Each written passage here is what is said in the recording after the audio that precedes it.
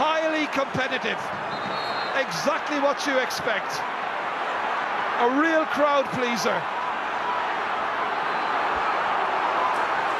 Well, this isn't exactly what you come to see, but Lar Corbett and the goalkeeper Owen Murphy. Across here, the man from Shamrocks. Oh. Weeks now in hurling. And that little pile-up will be finished, I imagine. Oh, the linesman, Brian Gavin's gone over there.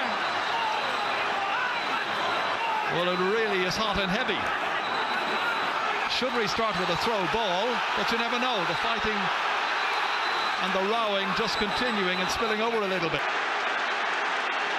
But it's a day when you just need to remain calm and disciplined. Coming in, uh, Declan Fanning. There, there's Van a, will pull, pull a bit a of a pull stroke as there. well, yeah. Depends what the umpires say now.